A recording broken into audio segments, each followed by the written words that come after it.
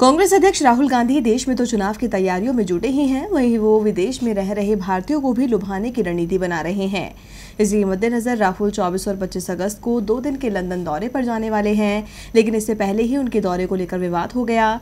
कहा जा रहा है कि जिस अहम कार्यक्रम में वो जाने वाले थे, आयोजकों ने वह प्रोग्राम ही रद्द कर दिया है, जिसके लिए कांग्रेस ने बीजेपी पर आरोप लगाया है। बताया जा रहा है कि कंजर्वेटिव फ्रेंड्स ऑफ़ इंडिया की ओर से 24 अगस्त को ब्रिटेन के संसद भवन परिसर में आयोजित होने वाले इस कार्यक्रम में राहुल गांधी को भी न्यौता दिया गया था।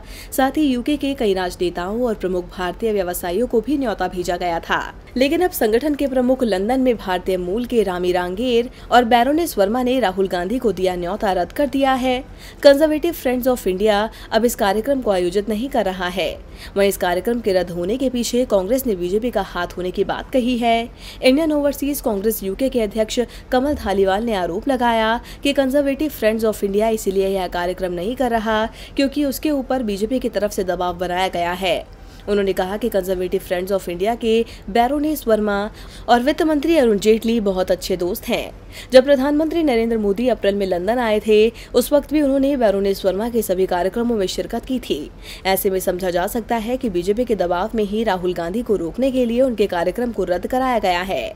आपको बता दें कि राहुल गांधी 24 और 25 अगस्त को दो दिन के लंदन दौरे पर जाने वाले हैं। इस दौरान वो कई व्यापारियों से मुलाकात करेंगे, साथ ही भारतीय समुदाय को भी संबोधित करेंगे। डीबी लाइव की रिपोर्ट।